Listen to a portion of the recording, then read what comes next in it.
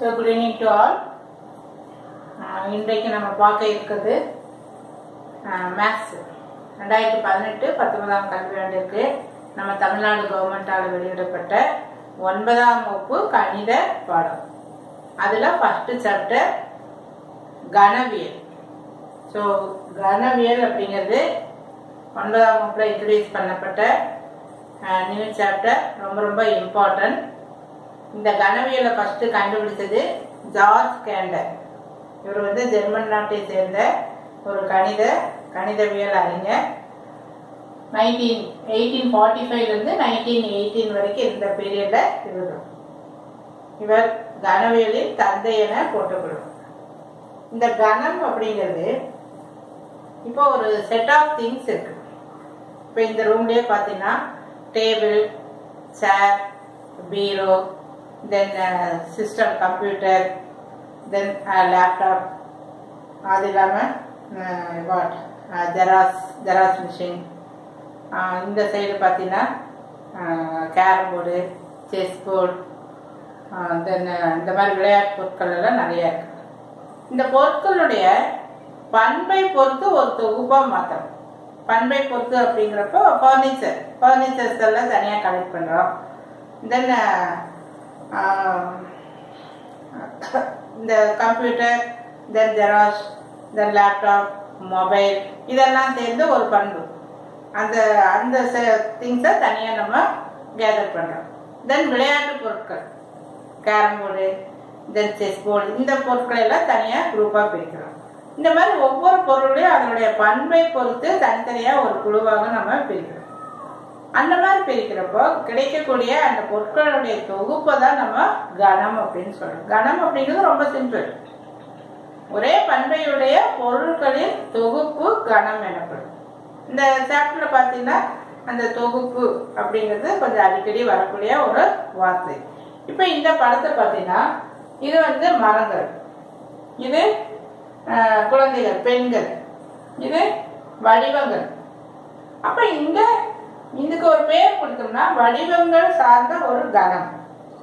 இது மாணவிகளின் கணம். இது மரங்களின் தொகுப்பு ஸோ மரங்களின் கணம்.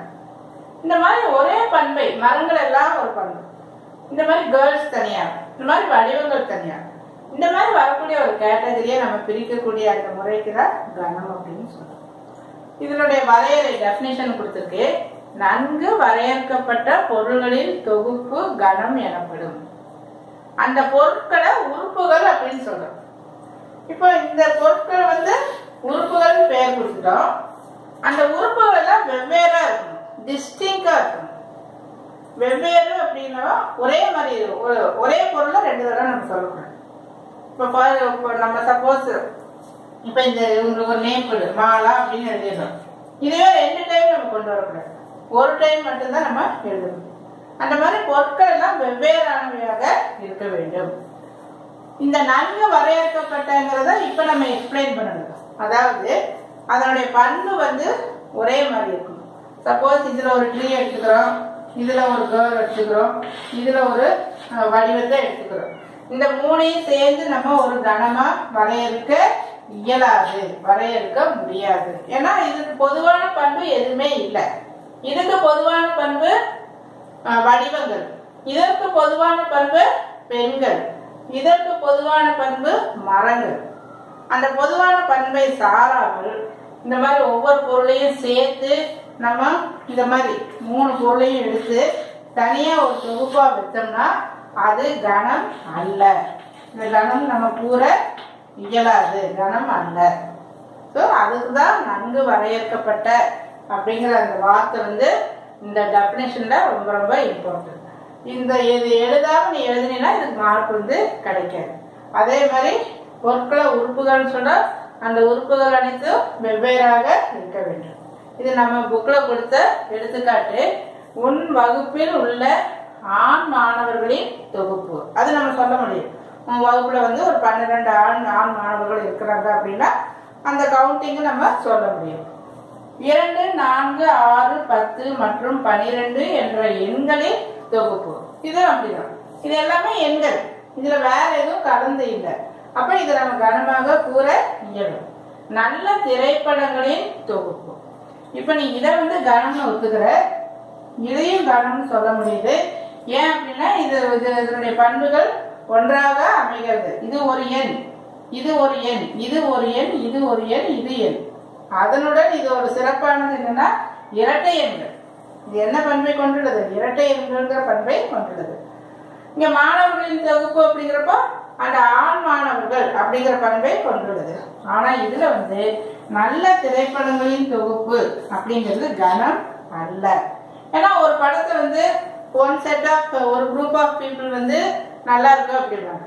இன்னொருத்தருக்கு அந்த படம் வந்து பிடிக்காது. நல்லா இல்லை அப்படின்னு சொல்லி சொல்லுவாங்க. ஸோ உங்கள் ஃப்ரெண்ட்ஸுக்குள்ளேயே நம்ம தர்க்கம் பண்ணுவோம். இல்லையா? அந்த படம் நல்லா இருக்குடா அப்படிவா? இன்னொருத்தர் அது என்ன படம் அது? அதை போய் நல்லா இருக்குன்னு சொல்லி அப்படின்னு சொல்லுவோம். ஸோ ஒரு படத்தை வெவ்வேறாக நம்ம விமர்சிக்கிறோம். நல்ல படம்னு சொல்கிறோம் இல்லைன்னு விமர்சிக்கிறோம்.